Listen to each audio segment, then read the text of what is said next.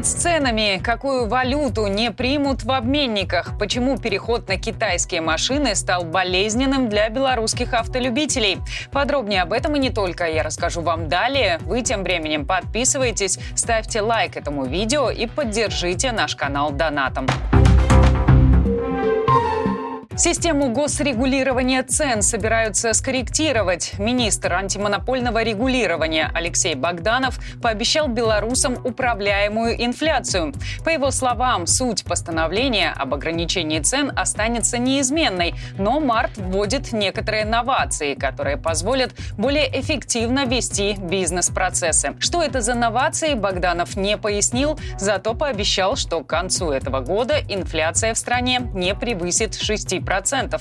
Министр оценил нынешний уровень инфляции как абсолютно нормальный. По его мнению, этот показатель не должен быть нулевым, ведь растут зарплаты, выплаты и пенсии. А значит, и цены на товары могут расти. Богданов заявил, что у правительства сейчас неплохой запас по годовой инфляции. По прогнозу она должна была достичь 6,3%, но по итогам полугодия показатель составил 5,8%. 2,5%. Чтобы обеспечить управляемую инфляцию, Министерство антимонопольного регулирования и торговли отслеживает этот показатель еженедельно и ежемесячно, заверил Богданов. Также там проводят, цитата, глубокий анализ по всем группам товаров и по всем областям, где что и как растет. Нацбанк Беларуси заявил о значительных изменениях в правилах обмена валют. Уже этой осенью обменники получат право отказывать в приеме некоторых иностранных валют, таких как грузинский лари, например. Это нововведение регулирует постановление финансового регулятора. Согласно нему, также уточняются требования к отображению курсов валют. Теперь банки обязаны указывать их на электронных табло, которые должны строго соответствовать курсам на информационных торговых стендах. Таким образом, планируется устранить разногласия и обеспечить прозрачность для клиентов.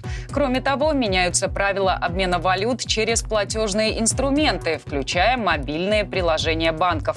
Банкам запретят взимать комиссию за такие операции, и они будут обязаны четко указывать курс, по которому проводится обмен. В случае сбоя системы клиенты смогут требовать отмены операции или возмещения разницы. Сообщается, что такие новшества новшества направлены на повышение доверия к банковской системе.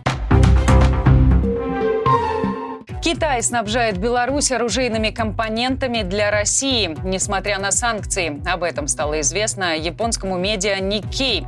Издание ссылается на инициативу бывших силовиков Белпол, которые получили в свое распоряжение контракты и записи платежей, свидетельствующих о поставках белорусскому оборонному подрядчику Белома Холдингс. Так, например, китайская компания Green Cycle Energy получила заказ на 3000 компонентов для лазерного модуля, который используется в разных видах стрелкового оружия.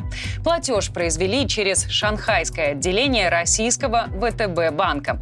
Несмотря на санкции, наложенные на Белома, китайская компания впоследствии заключила с представителями режима большой контракт на 5,5 миллионов юаней.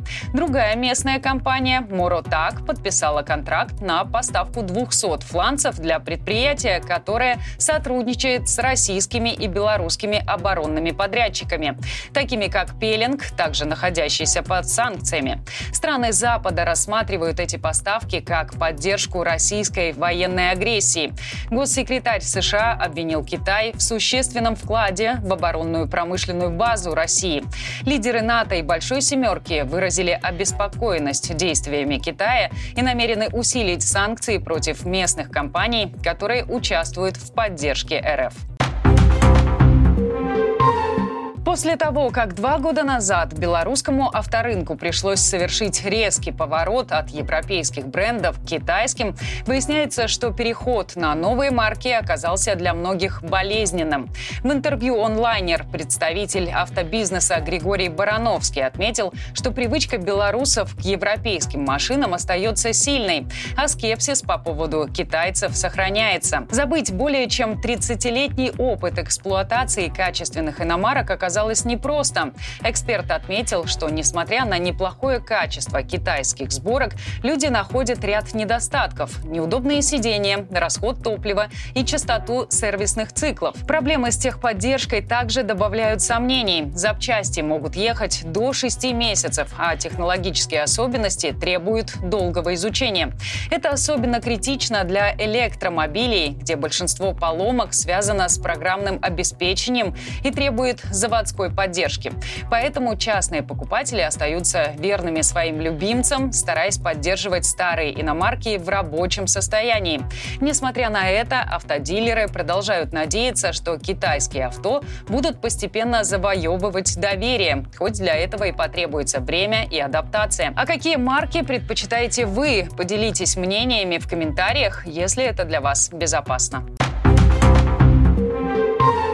Бойцы полка Калиновского объявили о создании нового общественного движения «Калиновцы». На пресс-конференции, которая состоялась накануне в Киеве, была заявлена цель объединить белорусские военизированные и общественные структуры для восстановления демократического строя в Беларуси после окончания военной агрессии против Украины. Тактическая задача калиновцев – усилить техническое и мобилизационное обеспечение добровольцев за счет ресурсов белорусов как внутри внутри страны, так и за ее пределами. Создатели движения намерены заниматься оснащением полка, довоенной подготовкой и реабилитацией ветеранов. Экс-командир полка Денис Прохоров подчеркнул, что калиновцы намерены координировать свою работу с другими политическими организациями, такими как Координационный совет и офис Светланы Тихановской. На вопрос о связи создания движения с конфликтом в полку замкомандира Вадим Кабанчук ответил, что инициатива инициатива была запланирована еще осенью прошлого года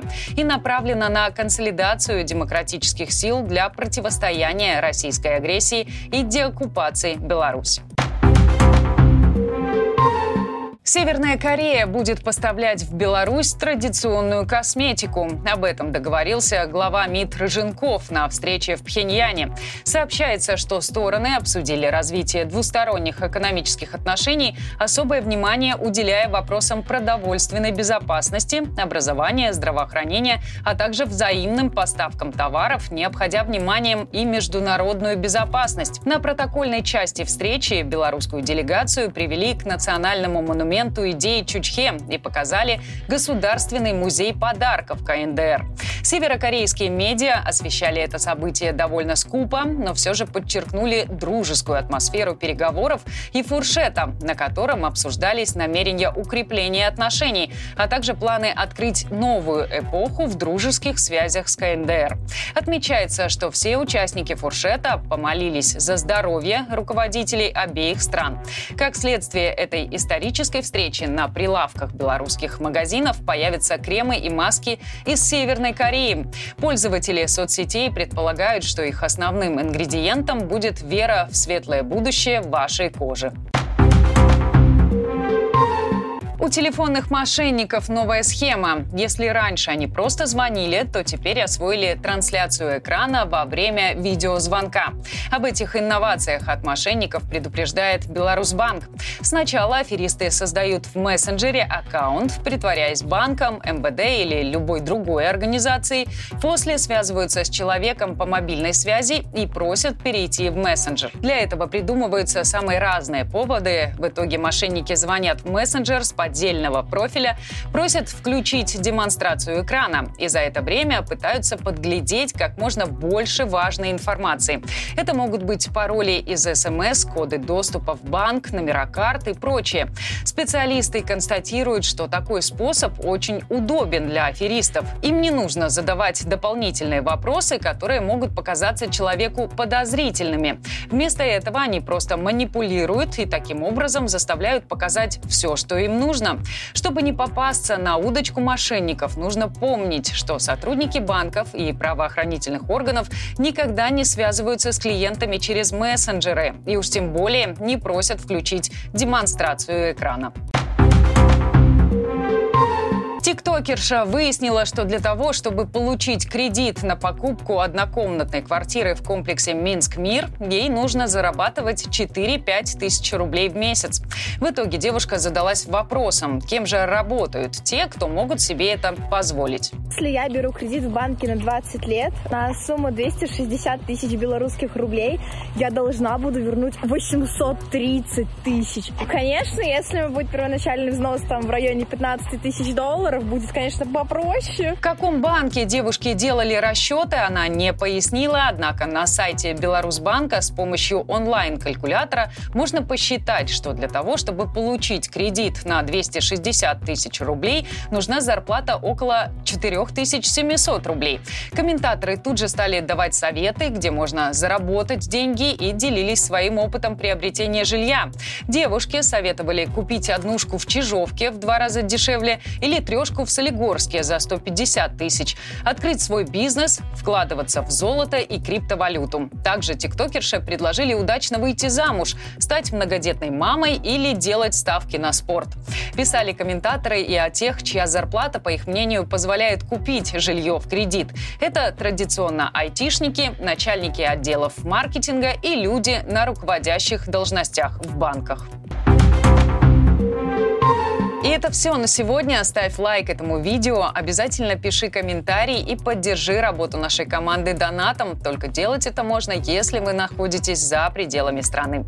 До встречи завтра и живи Беларусь!